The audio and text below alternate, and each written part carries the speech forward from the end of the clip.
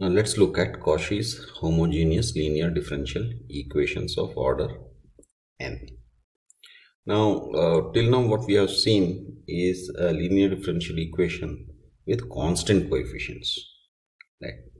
Now in case of uh, Cauchy's homogeneous uh, LDs what we will have is a variable coefficient right so a linear differential equation of the form x to the power of n dny by dxn plus a1x to the power of n minus 1 dn minus 1 y by dxn minus 1 plus a2 xn minus 2 dn minus 2 y by dxn minus 2 and so on. Now see this this will keep reducing right till it disappears. Uh, and this uh, will keep reducing till it becomes zero. So that means these two will disappear and you'll be left with a n y is equal to f of x. Yes? So here this is the variable coefficient. So here a1 a2 a3 are the constant coefficients and x's are the variable coefficients. Okay? And basically this form of the uh, differential equation is called a Cauchy's homogeneous differential equation. Okay uh, we know how to solve LDs with constant coefficients. So which we basically uh, which basically uh, means that to be able to solve this we have to get rid of of the x's that is x to the power of n x to the power of n minus 1 x to the power of n minus 2 and so on. Okay? Now let me write that same uh, equation using d notation. So we have xn d n plus a1 xn minus 1 dn minus 1 plus this is a1 a2 n not n. X n minus 2 d n minus 2 and so on till a n. Y is equal to f of x. Now here we have to do something by which this x's disappear let's substitute x with e to the power of z. Yes that is this can also be written as z is equal to log e of x. Okay so dz by dx would be 1 by x. Okay and we have dy by dx. This d's capital d's represent dy by dx. Now let's write it in terms of dz by dx. So dy dx so dz dz so dy by dx can be written as dy by dz times 1 by x because this is 1 by x. Or we can write it as dy by dx is equal to 1 by x dy by dz or in d notation we can write it as d is equal to so this is d and this is d1 let's say. D1 by x. Or we can say d1 is equal to dx okay. So basically by doing this we have got rid of dx or rather x we have got rid of because instead of d we have d1 okay so now let's look at the next level. That is d square y by dx square.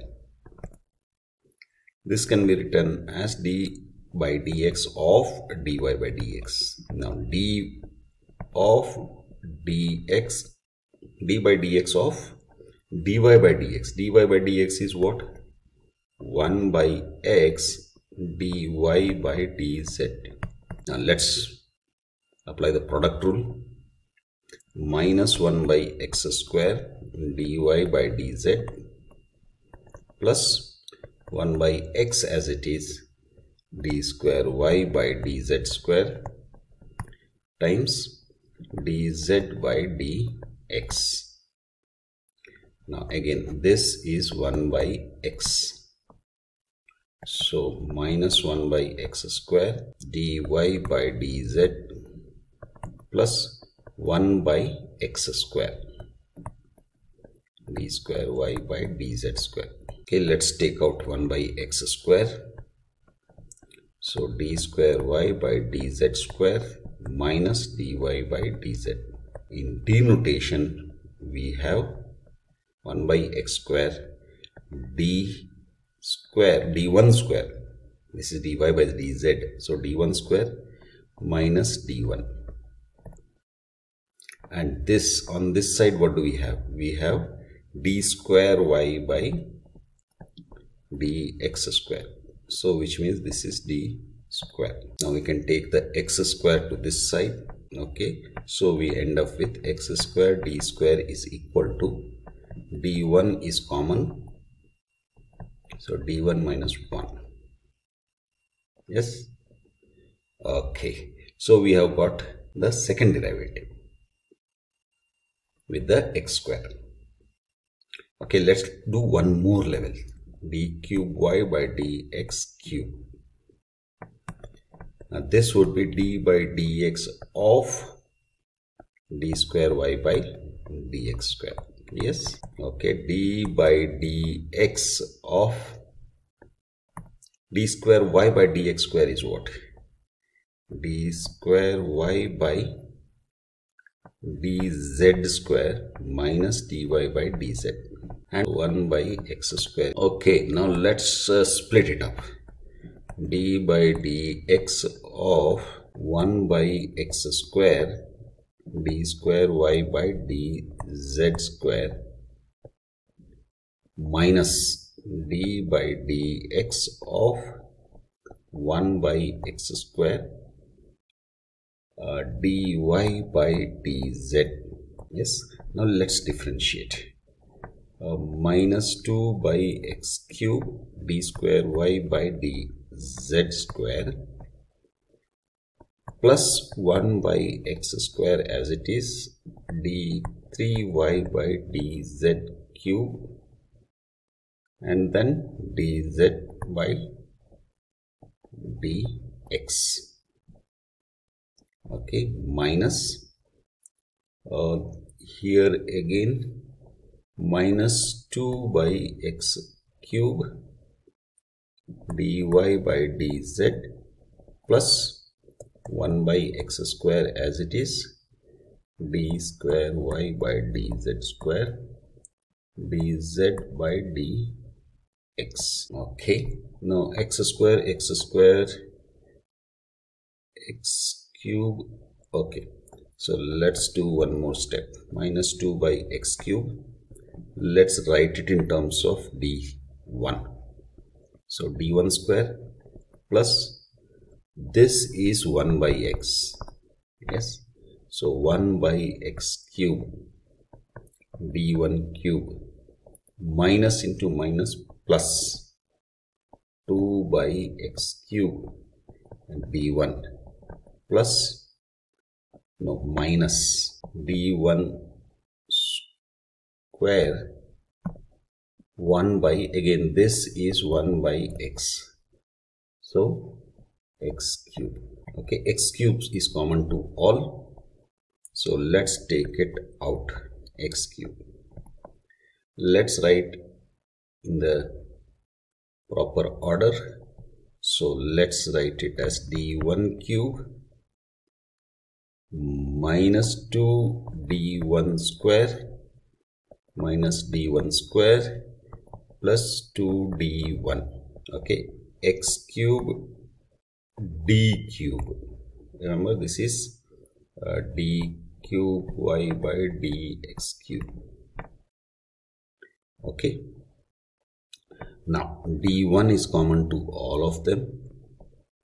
So d1 square this actually adds up to minus 3 d1 so minus 3 d1 1 goes out plus d1 goes out.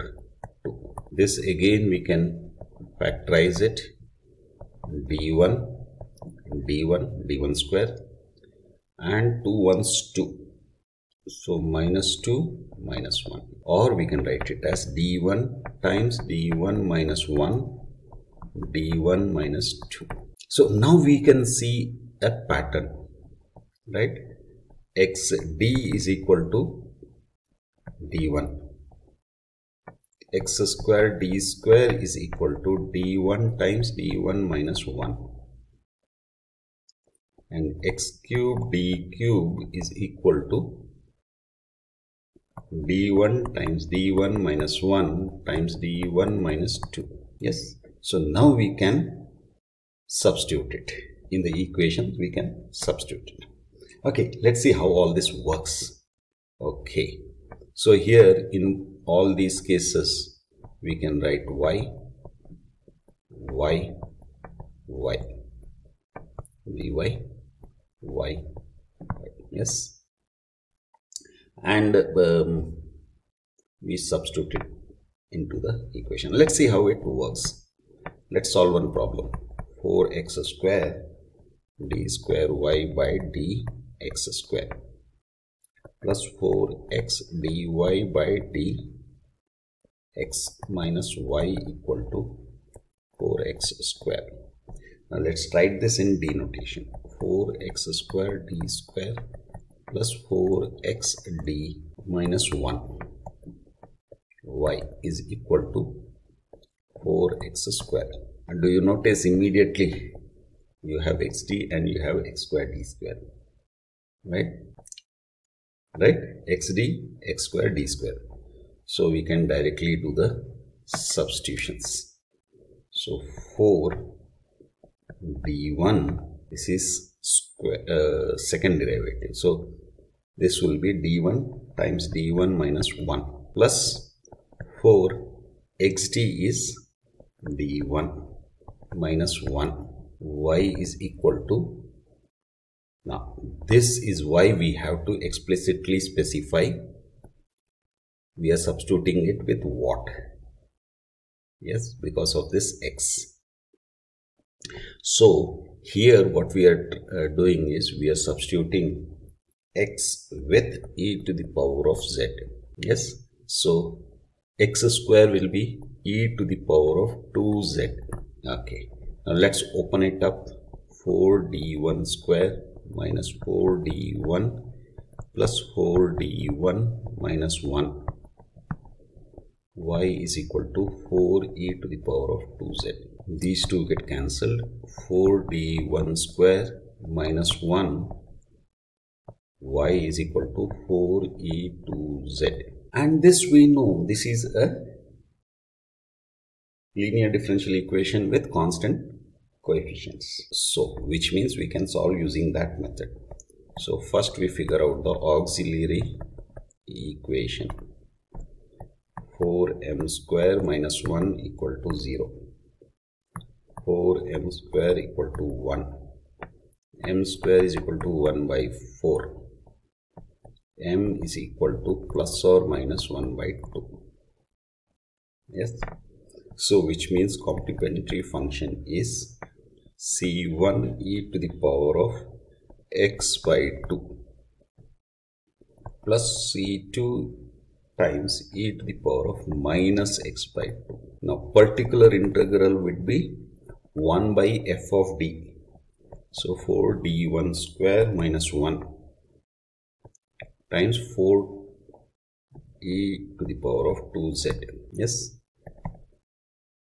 Now 1 by 4 2 square minus 1 4 e to the power of 2z because of this minus 1 we can't just cancel 4 and 4 so 4 e to the power of 2z divided by 2 2 is 4 4 4 16 minus 1 is 50 so particular integral is this so which means our solution is therefore y is equal to c1 e to the power of x by 2 plus c2 e to the power of minus x by 2 plus 4 by 15 e to the power of 2z. Now we want everything in terms of x.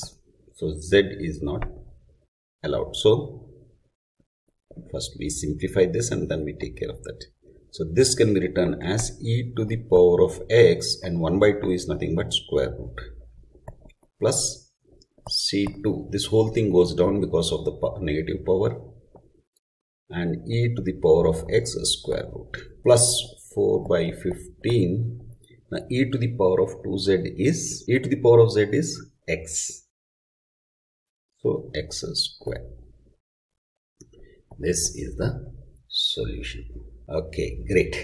Now, uh, if in case of uh, it's not just x's right the variable coefficient it's a it's it is let's say a plus bx to the power of n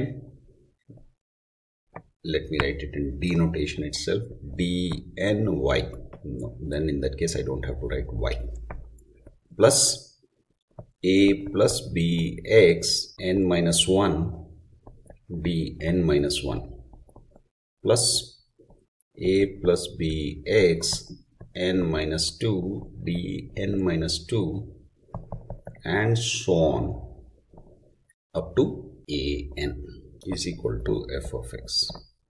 By the way, I missed writing y. This y is applicable to each of the terms.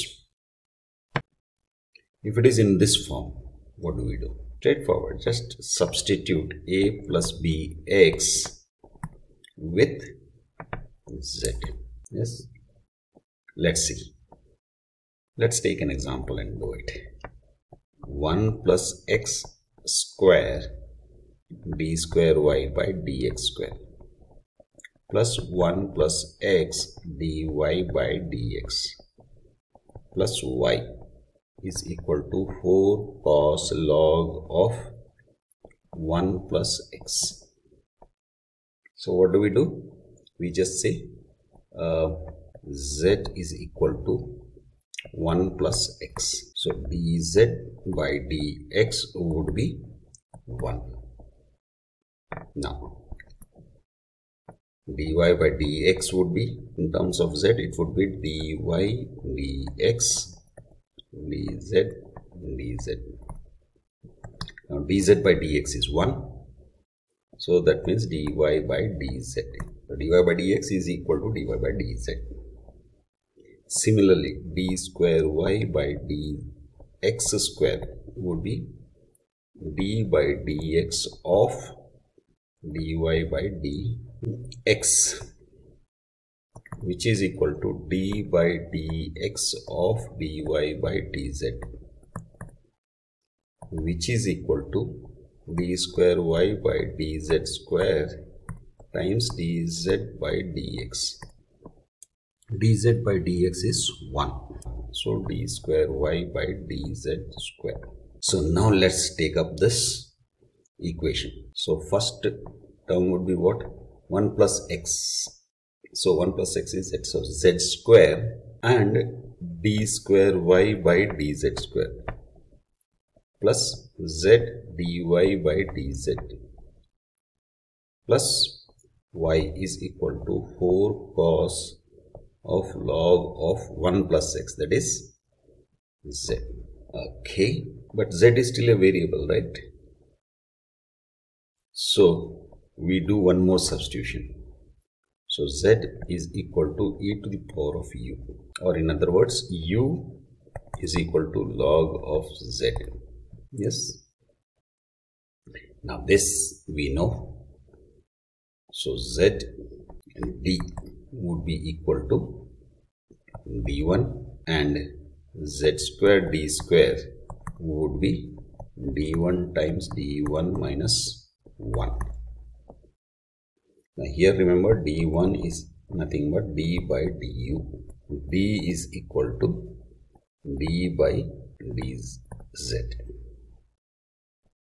so you need to be careful when we you know change the letter that we are using. Okay now um, here what do we do now? Uh, this equation let's write it in d form. So z square d square this is dy by dz. Okay so z square d square plus zd plus 1 y is equal to 4 cos of now uh, log z is u. So cos u. Right? Now z square d square z square d square zd zd so we do the substitutions. D1 times d1 minus 1 plus d1 plus 1 y is equal to 4 cos u. Let's open it up. D1 square minus d1 plus d1 plus 1 y is equal to 4 cos u. These two get cancelled. D1 square plus 1 y is equal to cos u 4 okay. Now this is a form which we are familiar with. Yes. So let's figure out the complementary function. For that we first come out with the auxiliary equation so m square plus 1 equal to 0. m square is equal to minus 1. m is equal to plus or minus square root of minus 1 that is i. Okay. Now this is a conjugate pair of complex number. So our CF would be C1 cos U plus c2 sine u. Okay? So now let's figure out the particular integral. This will be 1 by f of d that is d1 square plus 1 4 cos u. Yes? And here you see we have this we know this 1 by d square plus a square is equal to x by 2a cos ax is equal to x by 2a sine ax. Yes. So this is the same thing. So 4 if we take it out it comes into this form and this would be x by 2a ax is u here. So u by 2a a. Is 1 so um, 2a will be 2 sine u. Yes. So 2 2's cancel out. So our solution would be pi plus cf or cf plus pi so cf is c1 cos u plus c2 sine u plus 2u sine u. Now we have done substitutions twice. So we have to retrace that. So c1 cos u is log z. So log z plus c2 sine log z. Okay. Plus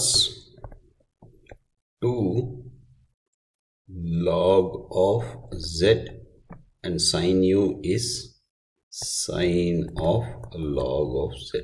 Okay. Now uh, again we have to substitute back the value of z. So c1 cos of log of 1 plus x plus c2 sine of uh, log of 1 plus x plus 2 log of 1 plus x times sine of log of 1 plus x. Now here if you notice this and this is common. So we can take it out. C1 cos of log of 1 plus x plus let's take this out sine of log of 1 plus x times uh, c2 plus 2 log 1 plus x. Okay so that is the solution. It can become a little bit tricky so be careful about the steps. I think that's enough for today. Bye for now